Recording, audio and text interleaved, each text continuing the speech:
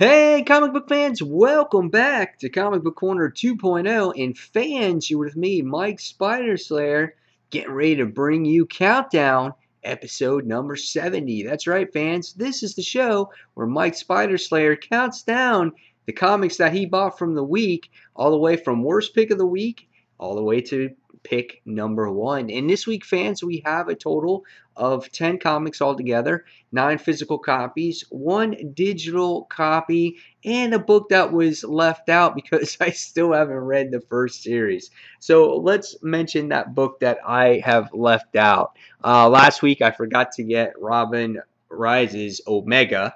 Uh, I still have to read it. And uh, with that being said, I still have to read Batman and Robin issue number one. And I bought that digitally because my comic book store was, was uh, out of it. So uh, what I'm going to do with that is I'm going to have Robin Omega Part 1 and Part 2. I'm going to read them together, and then I'm going to do an individual review for that to see where the story is at so far. So look forward to that. Uh, but with that being said, let's get started with this week's countdown. It's a very busy week with San Diego Comic Con. Uh, on my other channel, Comic Frontline, we're, we're gathering all kinds of news, so uh, I had to fit this in this week, and uh, sorry about the delay on it. But let's get started. We're going to start with number 10. And number 10 this week was Yes, I'm sorry, Batman fans. Batman Eternal issue number 16.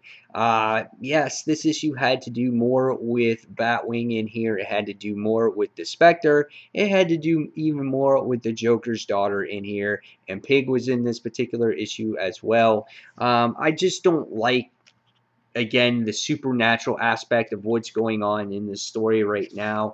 Um, this story and the art with with this particular subplot that's going on really doesn't interest me all that much and I feel that as a reader you really almost don't have to know what's going on in this part of the story to understand the main plot with Commissioner Gordon and Jason Bard and, and the new commissioner and uh, and things like that. Um, there wasn't anything here that really grasped me in this particular book. Uh, I was bored with it all the way through.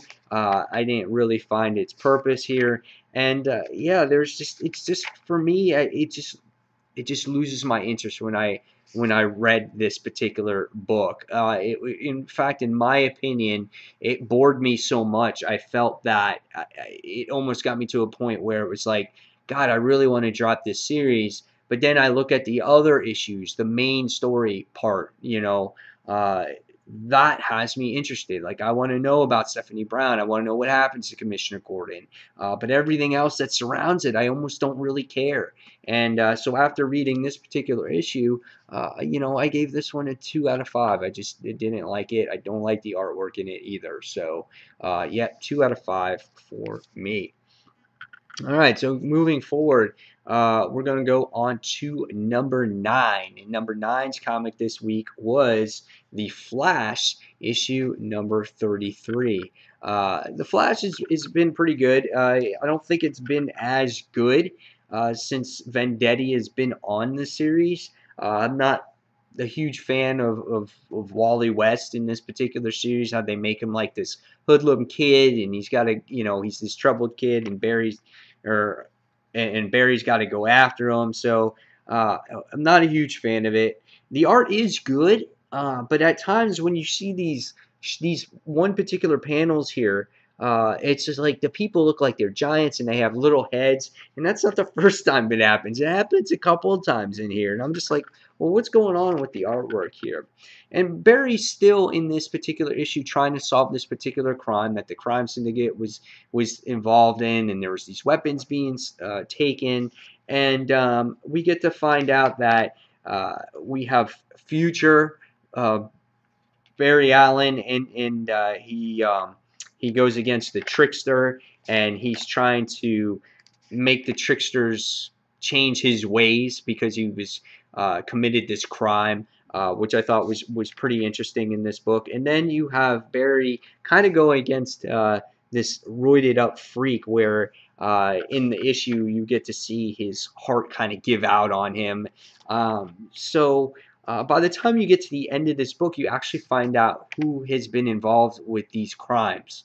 Uh, so it's an interesting tale. You know, uh, not much major story where it has to do with with Iris and, and Patty and the whole situation um, with Wally West. Uh, there was hints in there, and there was little scenes, but nothing that drove that forward. Um, so you know, I feel that the Flash has been okay, but it hasn't been as great as as the last creative team has, has been on there. So uh, I'm going to give this one the three out of five. I thought it was average.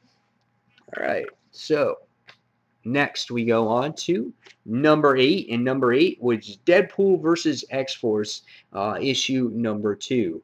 Uh, this cool issue. I mean, you got to take this story for what it's worth. It's got X Force and it's got Deadpool, and it has these these two basically, um, you know, going against each other before they actually meet in uh, in New Mutants issue number ninety eight. Uh, the artwork is done very well in this particular series. I, I really love the way it's drawn. And uh, you get to see, you know, some of the members of X-Force and Cable uh, try to go against Deadpool. Uh, it's pretty much the same as the last um, issue uh, you get to have a history lesson in this book because of, of, you know, you get to learn about the, I guess, the rebels and you get to learn about the Revolutionary War and how certain things mess up the time stream. And we can see there's always been the, there's already been these ripple effects that's happening because there's weapons that are being developed that shouldn't really have been developed yet. Um, I think the humor is, is, is done well in this series as of so far. Um, it's not forced like I feel a lot of Deadpool issues are, or ser- excuse me, or series actually are. And uh, you know, when you come to the end of this particular issue, uh, you find Cable and Deadpool uh, doing fisticuffs, and uh, Deadpool gets the the upper hand here. Uh, so yeah, I like the last page. I, I like the cliffhanger here, and it has me intrigued uh, for issue number three. And I like the little recap they give you at the end of the issue. And they tell you everything that's happened at the end of the issue, and then there's like a little uh, Q and A, which kind of adds to uh, the book, and it makes it, it gives it its own identity in a way. Uh, so after reading Deadpool versus X Force issue number two, I gave this one a three and a half out of five stars. A good series up to this point. All right, so 10, 9, what was that? 10, 9, 8. We're going on to number 7. Number 7 was Batman uh, Zero Year, issue number uh, 33. I, I thought that this was a uh, a solid ending to you know a series that uh, for a lot of people either enjoyed it or got tired of it and I got tired of it. I feel that overall as a series um, I think a 12 issue year event uh, is just way too long. I think this story would have read better, a lot better, in a trade fashion. Uh, or a series that maybe would have come out twice a month. And I hate to say that because I hate books that come out twice a month and you get paid double the money for your title, but it just was dragged on too long. Um, I like the ending here uh, in this particular series, how Batman uh, goes against the Riddler, and he does all these all the Riddler uh, all the riddles, and uh, you know, and I love the artwork uh, as usual in this book. Um, I like the ending on how what could have been Bruce's Wayne's future life. Uh, you get to see that in the issue, you know, of what I guess what Alfred was thinking, and uh, you know, and I thought it was, you know, I thought it was a good ending. Uh, but it wasn't an ending that I thought was like, wow, that was fantastic. I can't believe this was the best event ever. Um, it just, again, it was, it was okay for me. I think this particular issue, I think was solid. Wasn't for me the best issue I read in Zero Year. I think it was a couple issues back. Um, but this was a fun issue, and I like the Riddler and the Batman interactions here. So after reading this one, I gave this a three and a half out of five stars. And I can't wait for the next story arc for Batman so you can get his story moving forward. All right, so next on this week's list uh, that I liked was number six, and number six was Savage Dragon, issue number 196. Um, in this issue, we find an, it, we find out that Malcolm Dragon is recovering from injuries that happened in the last issue. He grabbed this Red Rage robot, I think it was called, and it blew him up. And, uh, you know, Malcolm has this crazy healing factor. And uh, it's very hard for him to die. So he's healing. He's being held hostage by these weird people uh, that basically what has happened has made them all ugly because they've drank this water.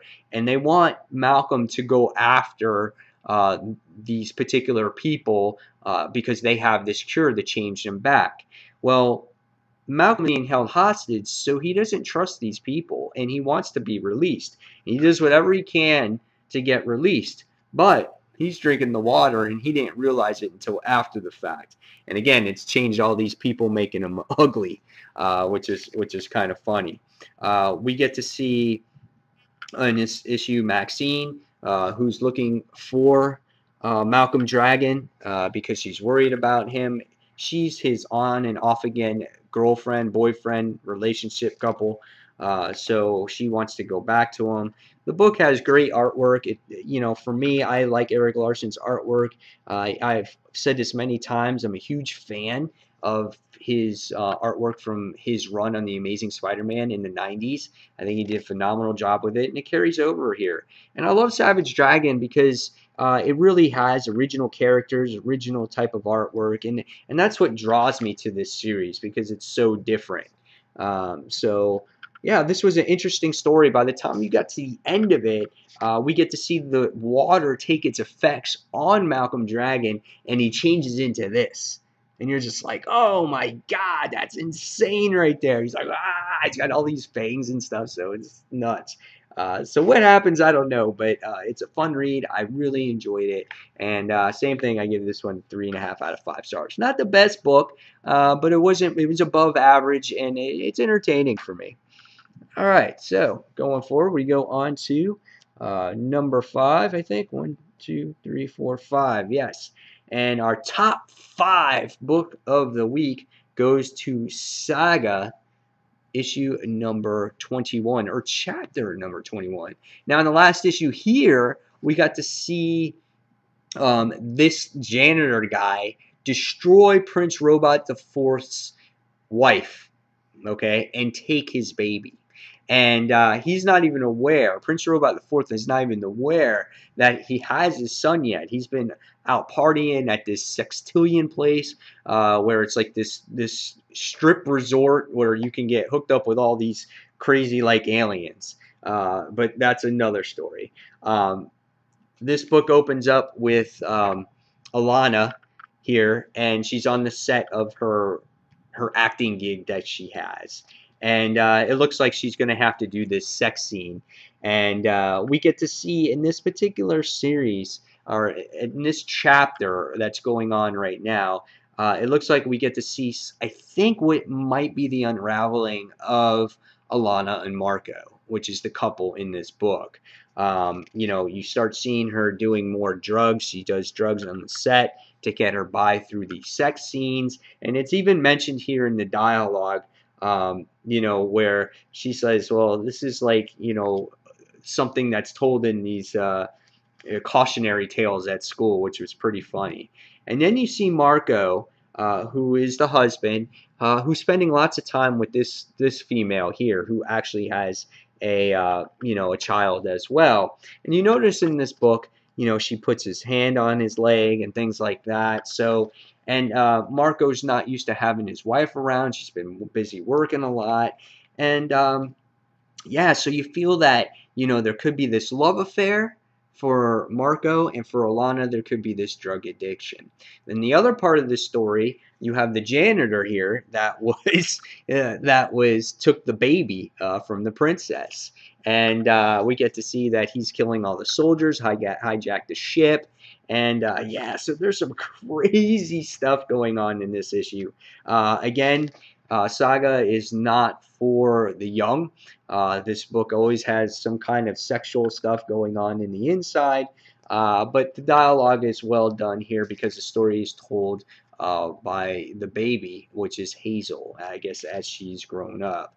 Uh, by the time you get to the end of this issue, you find out that Prince Robot IV uh, finds out he has a baby, and we find out that um, his prince, his princess was killed, and the information was late given to him. So he's kind of pissed off about that. Uh, so yeah, Saga is a really good book. I really enjoy each and every issue. I like the family aspect of this book. Uh, I like I like how you know they all interact with each other, and if this family you know goes south, it's going to be interested if they mend their ways, and that's even if the book goes in that direction. But by reading it, I feel that again the family's going to come apart. So after reading this book, I gave it a four out of five. I really enjoyed it, and that was number five. All right, so next on this week's list was Red Lanterns issue number 33. Um, you know, I'm a huge Green Lantern fan, but I'm just not enjoying the Green Lantern books these days. And I have to take the next best thing, and that is reading the Red Lanterns. And guess who's in this book? John Stewart. John Stewart makes his appearance in Red Lanterns. Um, actually, working with Guy here, and Guy's trying to, you know, I guess John and Guy are talking with either each other, trying to mend ways, trying to get Guy to come back, and, and Guy doesn't want to. Um, but he's asking, you know, he's telling his story about what's happened to uh, the Red Lanterns, how Trosses has come back, how he's poisoned the lake, and, uh, you know, he has to somehow get revenge on him. So it's pretty interesting. Uh, in this book, though, what was really sad to see uh, was Skallox and Zox. And this is Zox and this is Skallox. And uh, Skallox has been kind of the guy who's been on the fence uh, about should I stay with Guy Gardner or should I go back to Atrocitus? Um, you know, because Atrocitus is back.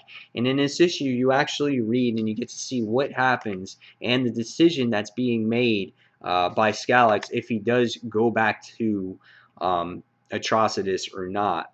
Also, you get to see the struggles with Bleez uh, in this issue too. Uh, and Rancor, because Rancor is back to a mindless Red Lantern, and they don't have a Red Lake to make him pure again to have his thoughts back. So they're trying to solve the issues with that. Um, as the issue continues, uh, you get to see Atrocitus, and you get to see his new Red Lanterns that are among him now as well.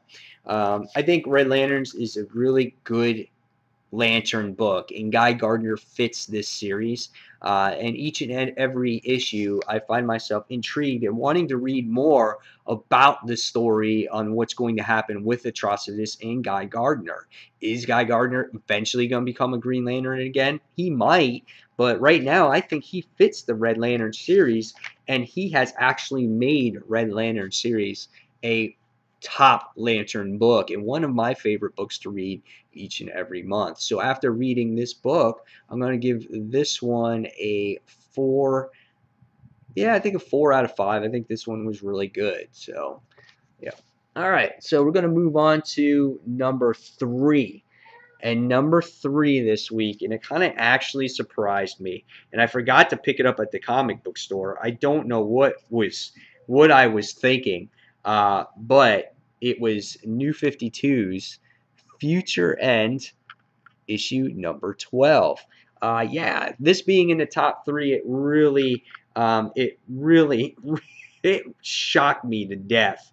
Um, I thought this issue was uh, phenomenal. Um, you know, when it came to the ending, I think maybe parts of it were a little bit slow, um, but for the most part, I thought that this was a, a really solid book. Uh, the book is not loading on the Nook at, at the moment, uh, so I can't really show you the pictures. But we learn in this particular issue um, that the Joker is still alive in the future. I think it was like 35 years from now. And we also learn that Bruce Wayne is alive as well. And to see those characters um, so far in the future was awesome. Now, we saw Bruce Wayne alive, and you thought he was dead after that first issue, but now he's alive. And it was great to see Joker as an old man. I think that was pretty neat, too. Um, and it was great to see a glimpse into the future again from this series where you haven't seen that since the very beginning, since issue number one. Uh, you get to see all of the other little bits and pieces and random stories like you usually do, usually do in, in Futures End, New 52. Uh, but the ending of this, these last few pages really made the issue for me, and it leaves hope for Futures End. And uh, so after reading that one, I gave this one a four out of five as well. So, what made number two this week? Uh, number two was Superman issue number 33. That's right. Um, really enjoyed this series. It could have made number one if it wasn't for the artwork. I'm just not a huge fan of Romita Jr.'s artwork in here. I think at times it's okay, but there's just other times where I'm just like, God, I can't stand looking at his artwork. Um, you know, right here where you see Ulysses, he's just some weird block looking guy in a way, and he's just got this square head, and I'm just not a huge fan of it. I'm not a huge fan of of Clark the way he's drawn in this particular issue, um, you know. But artwork aside, the story that Geoff Johns is telling in this book, I, I think is is really solid. Um, it's great to see, you know, the Daily Planet like back, um, and you see a lot of it too.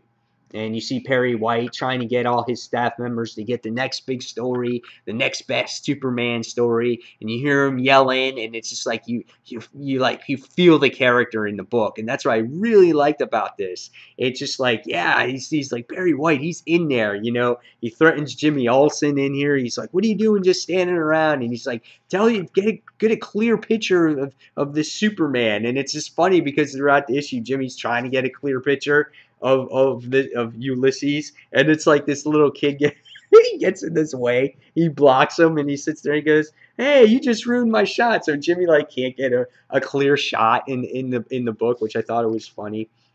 And Clark sits down and, and talks with uh, Ulysses, and he tells him that he wears an identity to, you know, to blend in with the crowd, uh, which I thought was really nice. And then uh, Ulysses looks at, you know, family pictures here, and uh, he wants to blend in the crowd, and he wants to be part of of, of what Earth has to offer. And I thought it was a, a really cool story. But then what happens is Ulysses uh, gets attacked in the issue, and he's getting shot at, and uh, yeah, there's some crazy stuff going on in this particular book. And at the end of the issue, um, you get to see uh, Ulysses uh, meet up with his parents. And I think that was a really nice story uh, because at the end of the first issue, you get to see what his parents did with them. He sent them uh, away because the, the whole place was was blowing up. So.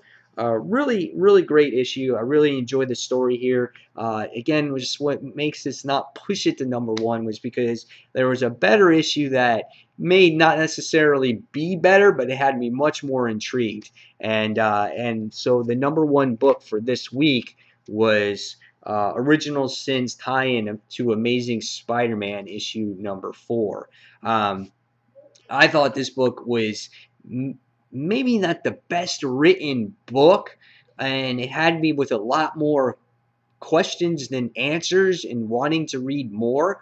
But I thought that the story here was I gotta give Dan Slott credit for trying to create this original story uh, and introducing a new character into Spider's Spider-Man's universe. You know, I mean, this is a first full appearance. Uh, if you go into today's modern comics, you know, back then, you know, first full appearance could could mean big bucks, but comics these days they're not worth anything. Uh, but in this particular issue, uh, we get to see Peter doing his normal work. You know, trying to come up with this electro net uh, to stop Electro.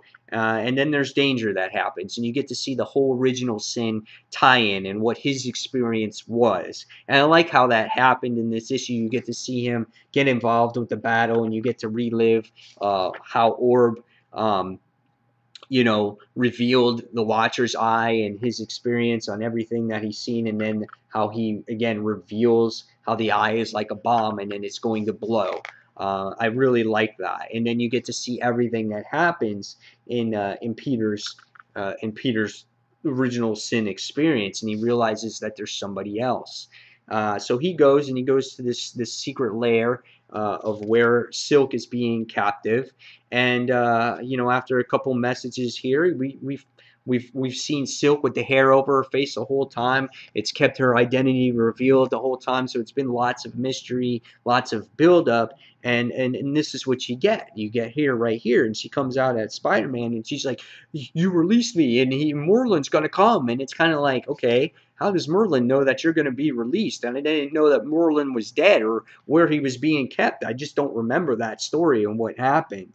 So I felt myself a little bit like, okay. And if you pay attention to this, is is that he's you know he's smelling and he's sniffing and he's like the spider bride uh, he's he's like this yeah he goes to spider bride and he's like the great hunt begins. So i guess this means now spider verse is upon us.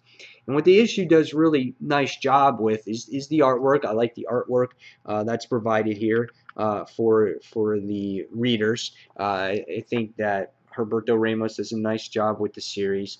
And and I like how the powers match up against each other. Spider-Man does a great job of describing what powers she does have, what he's better at, what she's better at, and uh, and I, I, think they did a fun job with that. And you get to see that the webs come out of her um, out of her fingertips, whereas Spider-Man's, you know, actually it's a man-made contraption. So her spider power is a little bit more evolved, I think and uh, you know she's being captive in this this layer for all this time.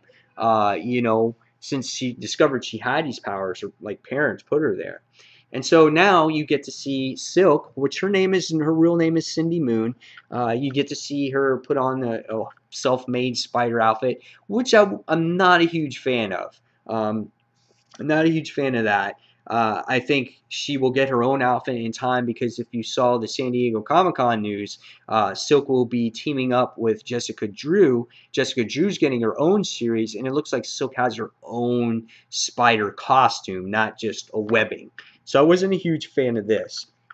And then what happens is in this issue is that I'm also not a huge fan of like Silk being so like bipolar. She's like, Morlun's released, and then she's like, oh, he's dead. Oh, you yippee skippy, you know. She's all happy, and then she's like, what? He could come back, and then she's like slaps Peter, and then the next thing you see is uh, crazy facial expressions. And then the next thing you see at the end of this issue is as they're like fighting each other. You know, I'm like, they're both spider people. Why are they fighting each other? It's all of a sudden they have this this attraction towards each other and they start uh, making out against the building here. And I'm just like, dude, what is going on? And I, I totally was not expecting that. And that's what made me like, holy cow, like what, what's happening? And I feel that it could be their powers that are drawing them attracting to each other. And Morlun mentioned this thing about Spider Bride. So I'm not sure where that's coming from. Um, but I liked the issue. I thought the issue was was really good. I liked the introduction to the character. It, I just have so many questions, like what's going to happen with Silk? Um, how are them hooking up with each other? Um, I could have done without that part, maybe build up the character a little bit more, and then have this attraction, uh, and then kiss and be like, oh my god, what's happening? But I don't know. Dan Slott has something planned here. How this leads to Spider Verse, I'm not exactly sure. Um, but I thought it was a great read. It has me definitely intrigued. Uh, that's why I got the number one pick for me. Not maybe necessarily the best written book, um, and maybe not the best book I've ever read this week. So after reading it, I gave it a four and a half out of five stars because it definitely wasn't perfect. Um, and uh, yeah, so that got my number one pick. so there you have it, guys. There is the countdown for this week. Uh, here's my new shirt also. And uh, you tell me what your favorite comic book of the week was, what your worst comic book be- comic book was of the week. And as always, guys, thank you for watching Comic Book Corner 2.0. And I'll see you guys on the next comic book review. Thanks for watching, guys. See you soon. Bye.